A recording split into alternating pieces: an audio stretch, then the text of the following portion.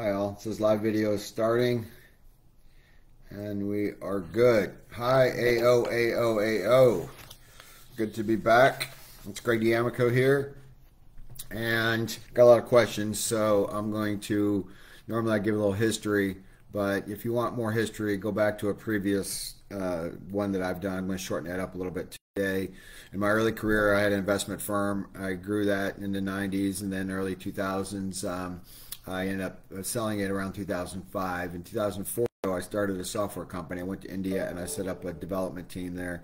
That's my team, and grew that to where um, over time we evolved in different things, but we we around 2010 i saw the future being mobile apps and we started building mobile apps and e-commerce applications to help people you know be more productive sell online get more exposure to their clients and so forth. We also do a lot of database integration to build dashboards and so on. So that's kind of my history give you some perspective of where i'm coming from.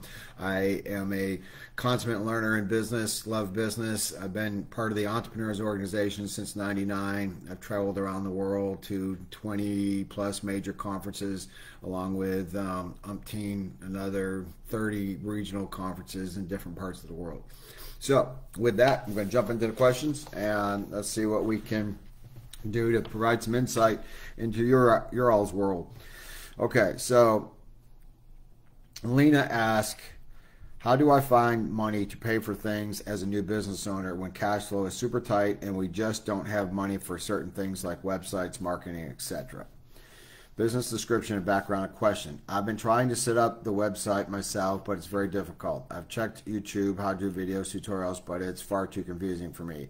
I have looked into uh, Fiverr, but as I'm hesitant. I know I need a better e-commerce website and some other things for the business in order to grow sales, but I feel stuck knowing how to get it done and pay for it. What did you do to find money to pay for things in the beginning?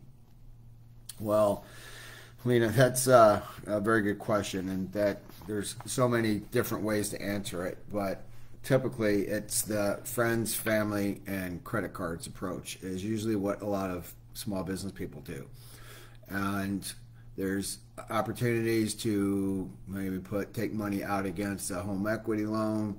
There's opportunities to go to a bank but usually small businesses have a very tough time doing that. They don't have a lot of cash flow to show, they don't have a lot of revenue history to show, and banks will not give you money in that situation.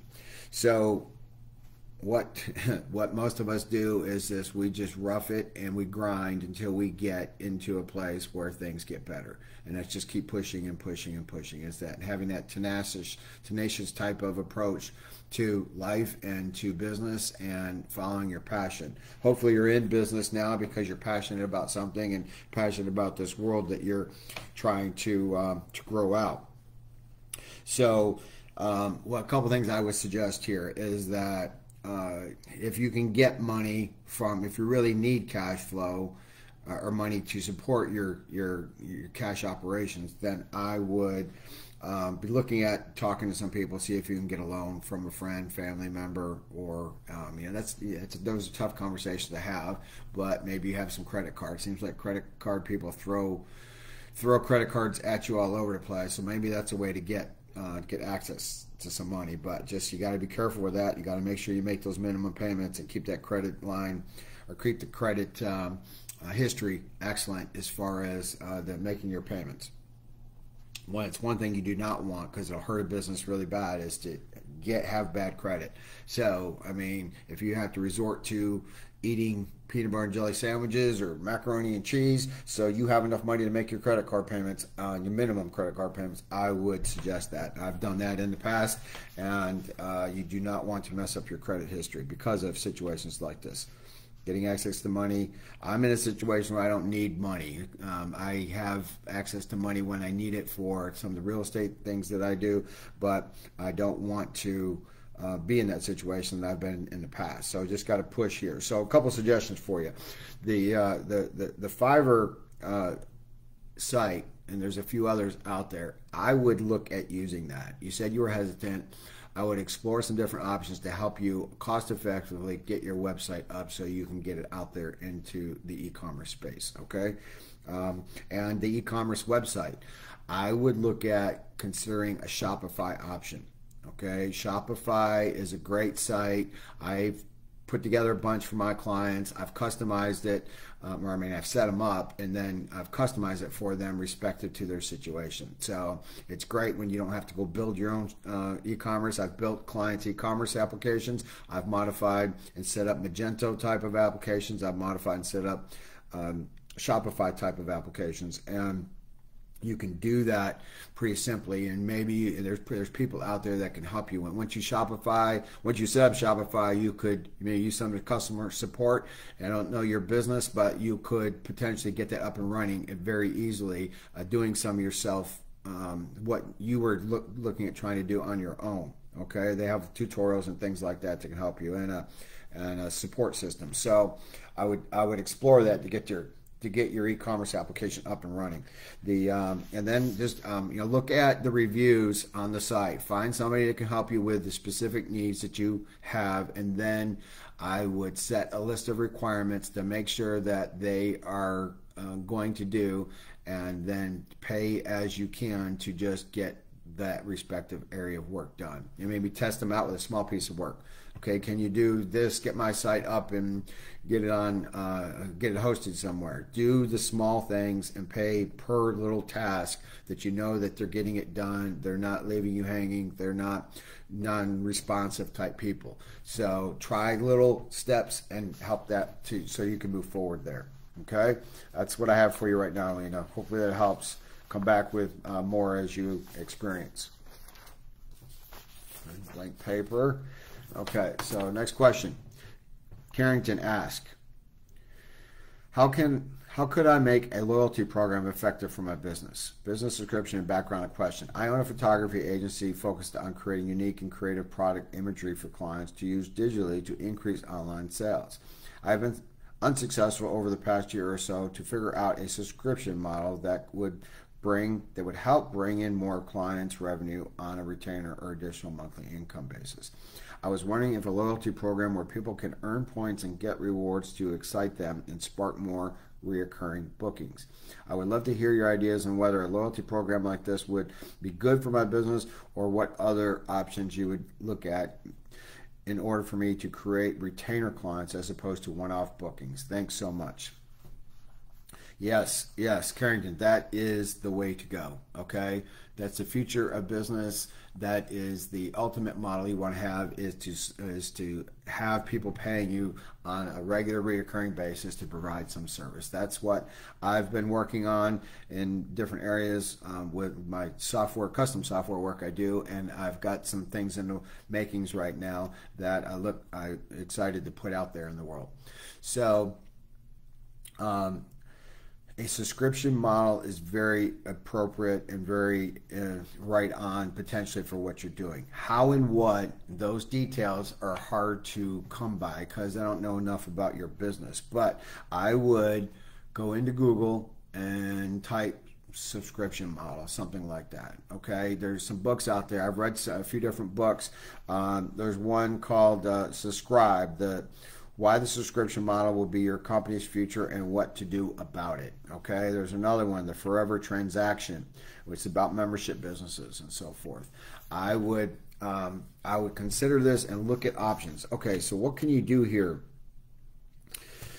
for uh, for a subscription model? You could be looking at putting out things that are training videos for your clients about how they are supposed to post and so forth. Okay, you could sell a training package to them that could. Um, could be a part of an online reoccurring well you can continue to do those sales and you're going to make more money but you, you could also turn it into something like a membership program where they become members and they're going to get access to things that you're going to provide them okay so maybe even take all your work that you do and turn it into a membership approach there could be there's membership things for all kinds of stuff out there, and it could be a way for you to go.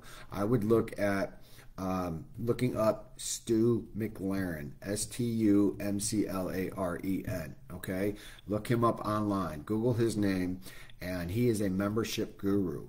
Read his material. He's got a lot of free material out there, and then some paid material look at his material to give you ideas about if the membership approach is right for you. I looked at this model for something I was going to do and almost implemented it, and then we changed the model with um, the brainstorming of where the business was going.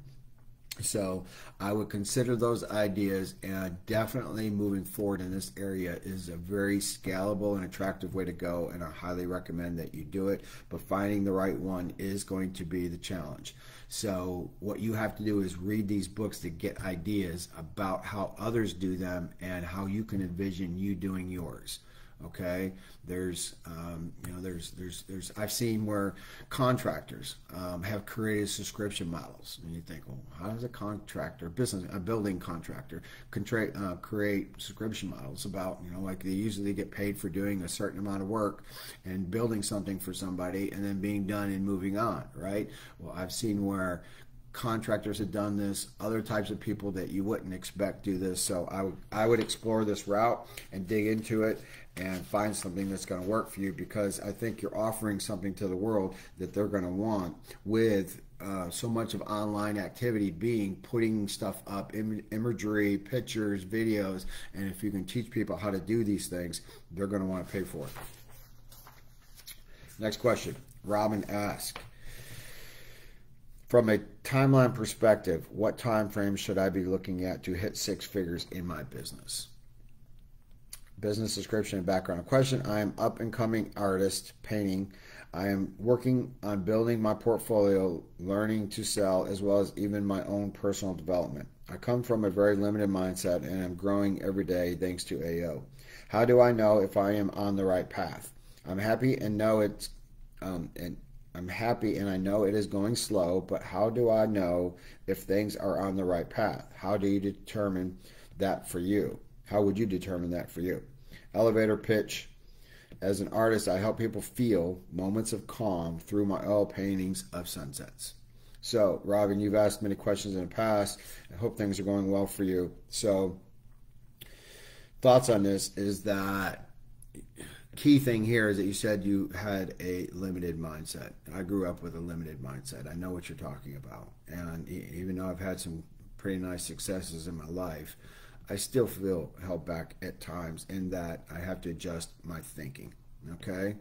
Um, I was just reminded of that the other day. I was with a very successful friend of mine who was at the casino, and I sat in while he played at the high limits table and played blackjack.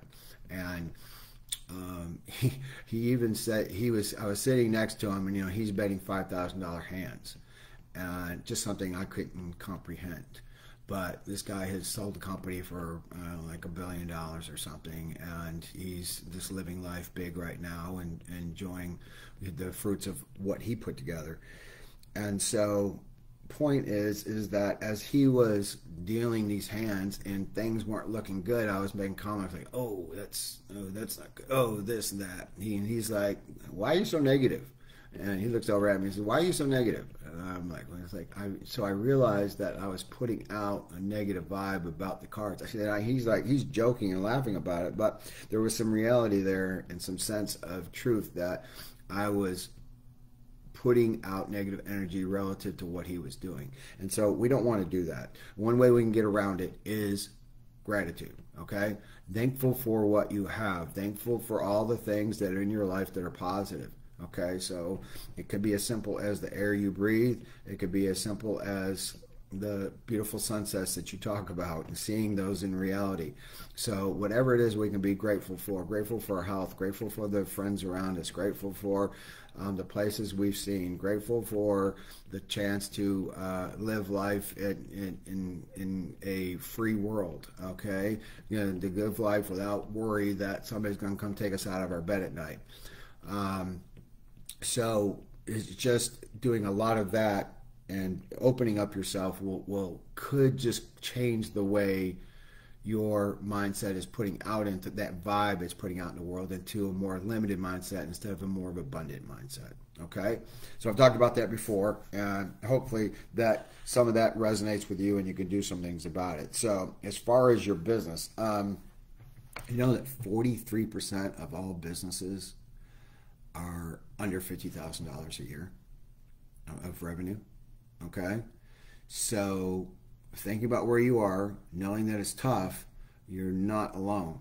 And as you may see successes out there in the world, getting to six figures is something that is um, that you may want to accomplish here uh, and, and, moving on. I've gotten another question around that too. So, um, uh, so I would say that what you want to do here is approach it with abundant mindset and just keep pushing forward with um, with your situation. Are you on the right path? Yes, you're following your passion. Okay, it's what it feels like to me anyway, and what the previous questions you've asked and so forth. You love what you do.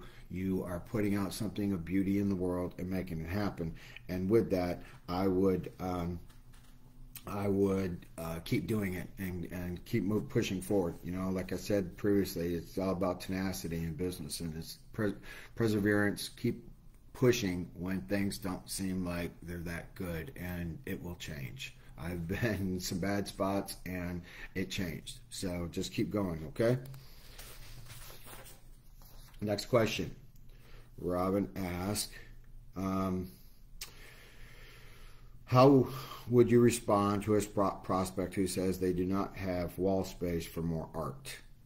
Business description, background question. As an artist working on location, this is often a response when a client sees and loves my art. With that, I started creating tiny drawings for tiny spaces. Thoughts? How would you overcome this objection? Well, that's hard one because, it, well, it's hard from how do you overcome it because I've thought about that myself a little bit because I use that all the time. I was fortunate enough. My those investment days went very well for a while, and I built a nice big house, and I was able to pay a high-end decorator to come in and just fancy it up. I was able. I had some of my personal things I bought over time, and and wanted that up on the walls. But she filled the house up with every area, and so as life went on, I would run into places and I would see beautiful pieces and uh, beautiful piece of art. And actually, one of the walls in my lower level were um, was a painting I bought in Aspen, an expensive painting um, or piece of art. It was kind of a, a design uh, aspect and really big. And they, she actually changed the whole wall um, to reflect the color because this thing was big. It was like I don't know, uh, maybe five feet by four feet or something, a big piece, and uh, and so. I, when I've time, I've walked into places and I have talked to people and I've looked at great things that really just resonated with me. And I'm like, where do I put that? You know, like they would try to, you know, put do the sale thing on me, and I'm like, yeah, I get it, and so forth, but I just don't know where to put it. Um, a few years ago, I had a good friend that I was starting to do some business with. Um, he was in the entrepreneur organization out of New York City, and he did art too. And I just um, I, I felt because of the relationship that I should get a piece of art from him, and I did. And I ended up taking something down and putting it up on the wall.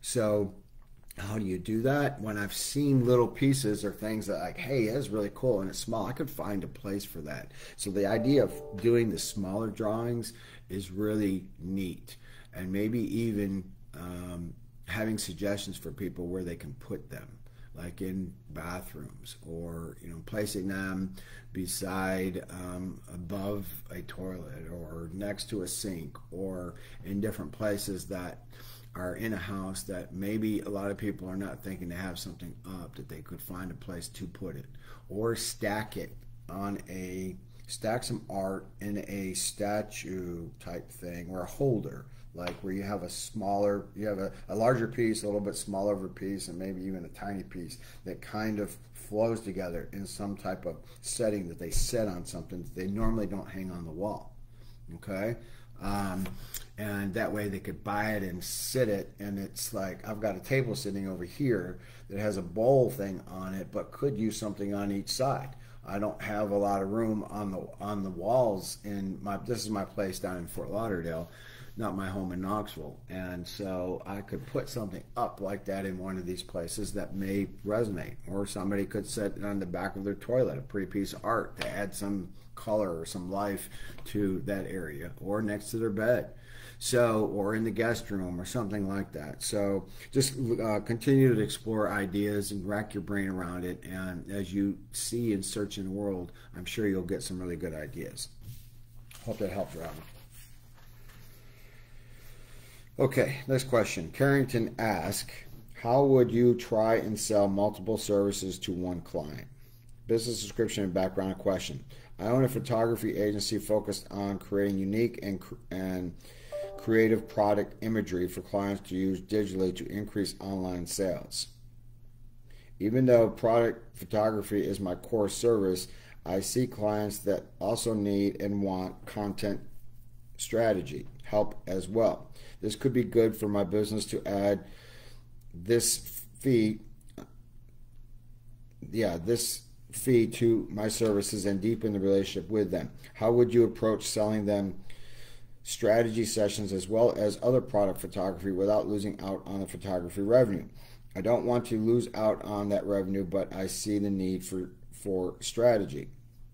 Uh, okay, so Carrington, I do not think you're going to lose out by offering one or the other. Okay, looking at business, um, general models of business is that there's usually what's called a revenue ladder. Okay, where you offer a service at some level and then it steps up to another level of service and then it steps up to another level of service and that is providing you provide more value you can price it higher and hopefully you have more opportunity for higher profit margins so an example of that would look like somebody sells a book okay they got to provide a, a, a, book and they put a funnel out there in the world and they sell a book and after somebody buys the book then they would get marketed to buy the next level on the ladder which could be a video a, a, training video talking about how to implement strategies in the book. That's maybe like so the book maybe you know 19 bucks and the video maybe $79. Okay, so that's your next step on the value ladder, and then you may offer a full blown course on um, 10 classes that get released once a week for a period of time that allow you to try, teach them at a strategy or other things at a different level that's priced at 797 or 997 something like that and so I would be looking at options here to provide a level of service that leads to another, a step up in the ladder into another level of service and then even another level. So having multiple levels is ne never an issue. Most companies strive for this. And if you can implement this in your business and provide something that leads to the higher level, okay? I mean, a lot of coaches out there in the world provide some type of maybe training videos, and then they provide the next higher level service, maybe a $5,000 package where they're doing live coaching or sessions with people um, that they've pulled together a smaller group that pay at a higher level and you get even more value from that next level customer that's willing, that likes what you're doing, gets value from what you're doing and then wants to go to the next step and willing to pay for the next step because they feel it's going to change their lives, help their lives, help their businesses in some way. Okay, hope that helps. Okay, let's see. Next question. Brad. Brad asks, how do you know when the time is right to leave your full-time job and go on uh, go all in in your on your business? Business description and background question. I'm currently a full-time firefighter and a paramedic for a local municipality and have 13 years of service invested with 12 more for retirement. The climate has changed dramatically, and although I never dreamed I would ever consider leaving the fire service, I find myself struggling to find a reason to stay. My business has been growing slowly over the last several years, but it's still not at the point where I feel comfortable leaving the guaranteed income of my fire job. However, I totally burned out. I am totally burned out and ready to leave. It's the fear that's holding me back and the lure of the guaranteed income and benefits that keeps me there. So, how do I know when it's the right time um, or when I should make the leap? Okay. So, like Brad, I'd like to know a little bit more about your business. Okay. Surface uh, Medicoms. C O M V E. So I don't. That's not giving me really any clues, but um, understanding what you're doing could be a little bit helpful, but there's some keys to the basics of what you said. Okay, I can provide you some thought and insight. Is that your business is never going to get to where you really want it to go until you go all into the business and fully commit and put the energy there to make it push it forward and and make it spin. Okay. Um, I had a friend that I watched for years. and I kept trying to motivate and coach him. He was a friend, and he admired my business success. And we uh, we were in different towns, and so he'd come to visit uh, my town because he he'd come to visit Knoxville because he actually played football at the University of Tennessee, and.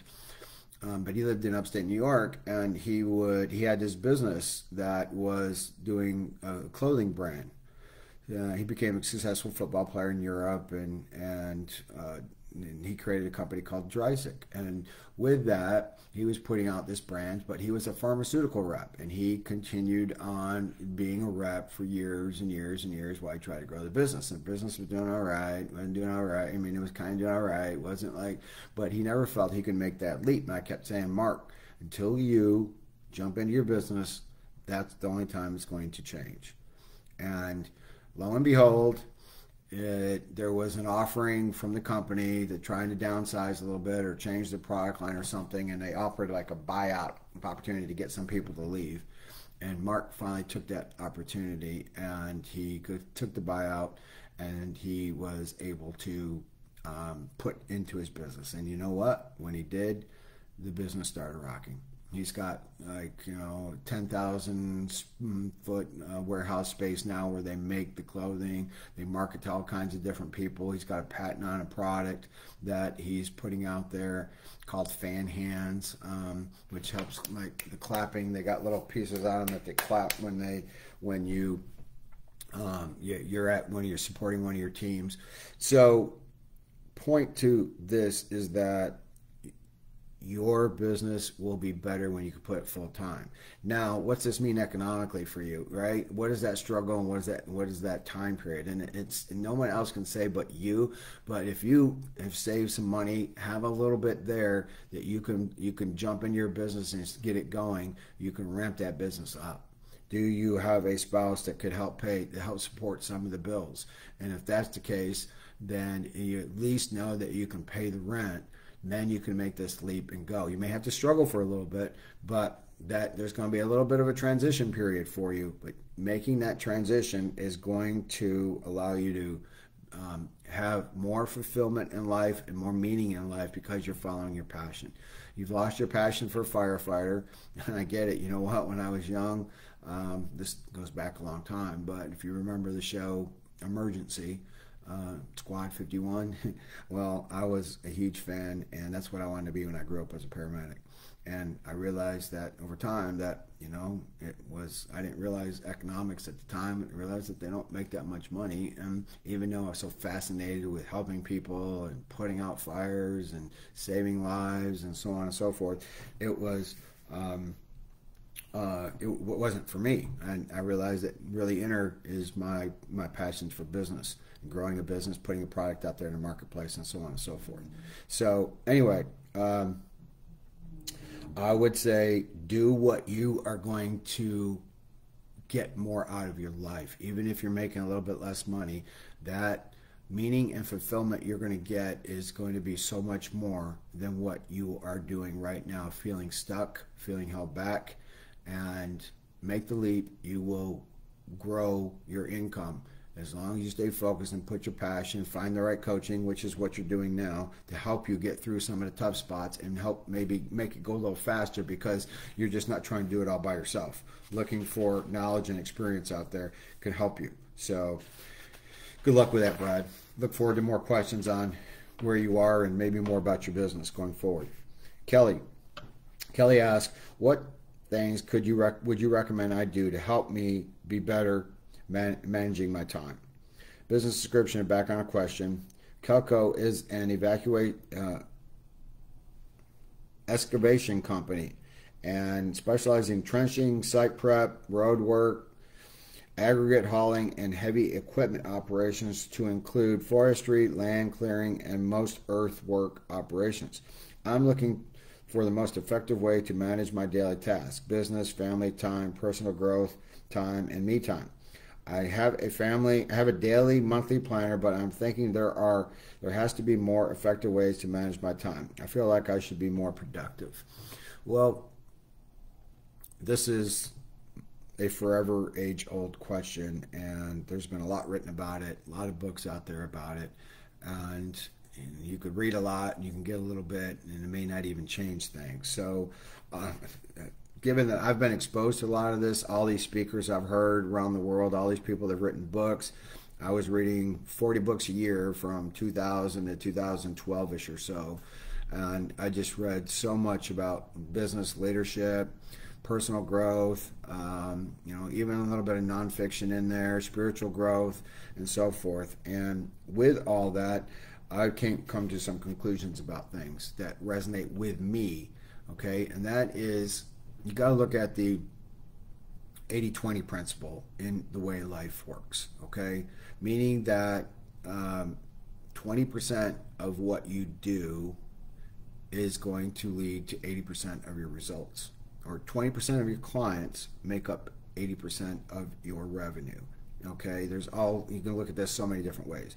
So, what I'm going to apply that to here in your world is that 20% of what you do on a daily basis is going to apply to 80% of the effectiveness and output that you're going to create. So, what are those things? So, what I like to do is I like to put in, I like to look at what's the top three things that I'm going to accomplish today, okay, and have a thought about that. If I'm trying to simplify this, okay, I can get more detailed, but I realize trying to be very detailed just gets me more bogged down. So I look at what are the top three things I want to accomplish today. And when I know I get those done, then I will I can move on and deal with the daily grind, the daily um, like questions from um, clients, uh, issues from employees, and so forth that you have to deal with as the day goes on. I also would do. Um, uh, you know, look at this and say, what is some focus time that I can have? Okay, time, quiet time. When I had the investment firm early on, I didn't go to work till like 10 o'clock, 9:30, 10 o'clock. And why? Well, I would get up and you know do my morning routine stuff. Um, some part of that time I was taking my son to school, and then I come back and I would read. I would read and contemplate and focus on things. We were in investment world, and we and our decisions about what we were buying and doing was a result of our our um, knowledge and where the world was going and so forth. So our reading the reading aspect was very important. So before I had employee issues and the mutual fund issues and running a fund and the fund accounting and the custody and the customer service and all that, I would spend this focused time reading. And then when I got to work, all hell could break loose and I, I had a great, I would have a great day because no matter what I planned to do, that was always something else pushing that intention out of the way. I got done the most important things in that morning time period, and the rest of the day could go as it goes, and I would I would feel like I had a huge accomplishment because I was focused on a certain things. So, what is it that is your 20%? What is it that is your top three that you would need to focus on that when you get these things done, and even boil that down to top one? What is the number one thing you need to do today to be better? And I like to add, you know, a second, a third, like smaller issue to that. But what is the number one thing you need to do today? If you do, you're going to have a one percent improvement in your work, in your life, in your company. Okay, and you just think about that. Well, one percent, that's kind of small. Well, one percent every day adds up to hundreds of percent a year. So put that in and just look at that as an option for you to manage your time. That frees you up so that me time, that other time, is not as concerning. I would I felt like I had to be doing something in my early part of my career that I was always reading. And I had magazine I had Forbes and Fortune and Business Week and I felt I had to read every single one of them. And I had to read a Wall Street Journal every day. And it, and it got to a point where that I was so stressed about making sure I was accumulating all this knowledge that I missed out on some time with my son and so forth. That um, as time went on and I focused on these top three things, I was able to get somewhere. Uh, I mean, I was able to get more relaxed about my life and like what I was doing after my work time and feel like I could let let go because I had an accomplishment. I had a win for that day. Okay, Kelly. So hopefully that helps, and you can um, you can get something out of that and focus on what are the key aspects for you moving forward. So, next question. Rosalie asked, is asking, what are the best way what are the best ways to discuss work performance concerns with team members in a way that will help them improve rather than feel frustrated. Business description and background question. I have an accounting firm. When a team member goes uh, gets stuck with a client's work, I jump on a call with them and resolve the issue almost immediately. I have seen them get frustrated and embarrassed with themselves. How can I better these communication conversations so we have we're feeling great and positive? So we uh, we leave feeling great and positive. Sorry. Okay. So, Rosalie, I have a motto that applies to the way I've uh, evolved by the, what I've experienced with uh, hundreds of employees that were hired and, and, and those that were let go and so forth over time. This says that you either coach people up or you push them out. Okay? That's all on a positive basis. Okay? Coach them up and it's everything and all our interactions with them is to is to get them to the next level is to make them help them have a step forward help them see and be able to become the leader like you are. Lead themselves lead others. And that is a key to what we're trying to do with other people. So coach them up or push them out okay? All that you can do a lot of coaching and sometimes it just doesn't matter. And it's going to be best for you and that person if they are motivated to move on to something that's going to meet their strengths going to meet who they are okay you're freeing them up to go on to a place where they are um, better suited for something else. Okay, I've seen it happen over and over. I had employees, I had, they weren't getting it, they weren't doing it what I needed done, and I had to let them go. And I let them go under that mindset that you know what, there's something better out there for you. And I've had so many of them come back to me and said, "Hey, Greg, thank you. You were right. It was." And of course, it's not about being right. It's kind of about their lives being better. Okay, I was in I was not right for that role, and now I'm found a place that I'm excelling at. I'm in flow, and so on. And when you do that, it just makes you feel better about the fact that you stood up and got somebody out of a role that they weren't wasn't right for them. Okay, so um, what else can I say about this? Uh, so what I'd like to do when I'm working with people in their situation is I always go to them, I always ask them what they would do. Okay? People, I had employees come to my office, Greg, we got a problem with this and this and this and this and this is happening and this is going on. And I'm like, okay, so what do you think we should do about it? And I let them ramble on a little bit. Sometimes they would have an idea, sometimes they really wouldn't. And then I try to talk them through it. I try to say, hey, well, have you thought about this? Or, you know, what, what what's causing this situation? I would just trying to push the dialogue along. So whenever I was able to get them to start thinking and then come back and just talking it through and they come up with something good, they walk away feeling better about themselves. They walk away feeling that they've grown a little bit and that they are valuable to the team. So if you want to help them make them feel better, help them figure out what the answers are to the questions. Okay? It's going to take a little bit longer. You, with your experience, you just knock it out just like that. What is it that you can help them become that next level? And and take their knowledge to the next level by engaging them in questions. Okay so you know the answer. So then how did you learn to get to that and help maybe take steps towards them figuring out how to answer questions that are, are, are answered in a way that's analytical or logical or even not, then how should they best go about that from your experience in your situation? That's where you want to come to.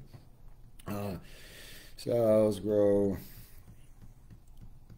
and so I think that's all. But you know, I'll add one thing to it is that remembering that the definition of a leader, a good leader, is one who makes more leaders, not gets more followers. Okay? You are out there to try to make more leaders, and you don't want people to have to always come to you for the answers. If they do, you're not going to grow as fast. You're not going to scale. You need people to be stepping up and thinking and working and doing the things that are going to make your company better, and that's get, getting them to think for themselves. Okay? So go out there, Rosalie, and make some more leaders and um, build that company. So, Rosalie asked another question How do I make a first meeting with a new contract productive? A new contact, I'm sorry, a new contact productive. I have an accounting firm located in South Florida. For the past year, I have been working on adding people from my prospect list on LinkedIn. Occasionally, I invite them to have a coffee with me, but don't want to make it so long that it will be an inconvenience to them. I'm a little lost on how that meeting should work and how long it should last and what is the objective. Obviously, I want new clients or spheres of influence. Help. Okay, so my thoughts on this is very simple. Based on my experience with learning a lot from Eric Maddox, the guy who caught Saddam Hussein, uh, we have we're building out a program called High Value Listening. And with that is I would take this approach. Okay, take this in all areas of your life, but definitely with clients and potential clients and prospects, people you want to build relationships with, is that you go into that to find out about them. You don't have to come in with some type of checklist. You don't have to come in with, um, you know, this is the perfect sales pitch or smooth uh, thing that if I tell them they're going to be on board. You go in and you find out about them. Hey, um, Tom, what's you know, so how what's going on in your world? Yeah, you got any challenges with business? And as they talk, you hear what they're saying and you go deeper with that. And you keep going deeper with that. Okay? And you keep going deeper again. You figure out what is their area of concern and thought. And the more you ask about them the more you understand them the more the better the relationship you will be building. And you will be creating the highest level of trust is what Eric Maddox talks about and how he was able to capture Saddam Hussein um, as an interrogator without doing any waterboarding or other things. He just learned to listen to people. When he found out the tactics he was taught in the military weren't working, he evolved this approach and got people to open up and he continued to refine it hone it and with that he able to build the highest levels of trust by asking these questions so many of us do this we're talking to somebody and they're telling us about their life and they may say something like, um, uh, yeah, you know, I, I recently visited South Florida. Like you said, you're from South Florida. And it's like, oh, yeah, you're South. Yeah, I have a place in Fort Lauderdale and I go there a lot. And I live in Knoxville, Tennessee, but I really love Lauderdale and I live in Lauderdale by the sea area. And with that, so what did I just do? I turned this about me instead of continuing to make it about them. So that's called a boomerang. And what you want to do is you want to stay focused on them. You don't want to tell them when, uh, even when they open up the opportunity in these initial meetings, to tell them about how what great service you provide. Is that you continue to ask about them. At some point, they may turn the conversation and ask you for something specific, and then you tell them. But initially, you're saying, what do you want to do in these first meetings? You want to build a relationship and you want to build the highest level of trust so that it will move down the line. They will want to help you. If you go away and they did all the talking and you didn't, you just asked questions and you left, you can be like, well, I didn't tell them anything about myself. But you know what you just did? That person will walk away and say, wow, they are so cool. I really like them. Why will they say that? Because you were engaged to understanding about them. They wanted to be heard and you heard them. And when you do, you build this uh, connection that is very powerful. Okay, so that's the way to get started, in my opinion, in my experience of what I've seen out there, and I've seen. I've been working with Eric for three years now, and watching him what he does is very powerful, and um, I think it's going to be best for you. So Hope that helps. Okay, and my last question here is Kelly asked Kelly uh, asked, how do you deal with feeling vulnerable, anxious after letting everyone know everything about your business and what you are all about? Back, background and description and question. We strive for excellence as an evacu- uh, excavation company specializing in trenching, site prep, road work, ag- aggregate hauling, and heavy equipment operations. I am feeling really vulnerable right now and super anxious. I'm going to all general contact general contractors, the city halls, um, uh, fire, residential buildings, social media platforms, and generally letting it all hang out, trying to land a job uh, or a subcontract. I didn't expect to feel like I am right now. Okay, so Kelly, I'm not sure where you're coming from because is this coming from an area of you're saying you're trying to land business and you feel like you're not getting it, so you're getting stressed and anxious, so you need to like you're just putting it out there and saying, "Hey, I'm in a, like a tight situation. You got any work for me?" And yeah, and yes, I don't know if that's it's. I would not say when you, people feel desperation, they're not interested in acting. Okay, they may feel empathy for you or they may feel sorry for you, but they're not inclined to give you business. So when you say let it all hang out, open up your world to saying these are the areas of value that I provide and see what happens from there. Okay. Um, so just being careful about this. Not that you can't be real and being but real to what level and just talking about your world you're living in uh, but when you ask, when you put things out there in a desperation mode, it will not come back to you in as a positive a way as you would like. So, hope that helps, Kelly. Um, everybody, have a good month. Look forward to chatting again next month. Until then, onward and upward, and keep pushing, keep being tenacious, and making your life spin. Take care.